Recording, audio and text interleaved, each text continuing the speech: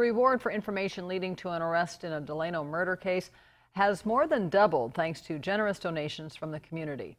The Delano Chamber of Commerce had already put up a $5,000 reward to help catch the person responsible for the death of 88 year old Johnny Espinoza.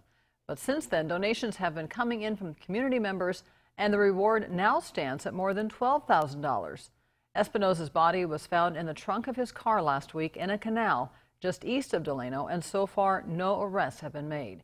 He was a veteran, a longtime leader in the Delano community, and a former member of the Planning Commission.